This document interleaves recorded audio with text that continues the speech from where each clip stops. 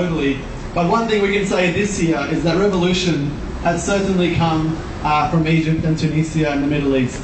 Uh, the brave people uh, of Egypt and Tunisia and, all the others in the region. Uh, I'm Lebanese, no revolution there yet, but he's hoping. The brave people of that region have set a precedent, have set uh, the, the target that we in the West uh, must achieve. Democracy, real democracy, is not these fake elections that are happening in Egypt. They're not the fake elections that happen here. Democracy happens on the street, and it happens when people take uh, initiative and power and courage together and take a stand for social justice. I'm here today, and my organisation, Socialist Alternative, is here today because we think the people of Egypt are absolutely leading the way in achieving genuine democracy in the 21st century.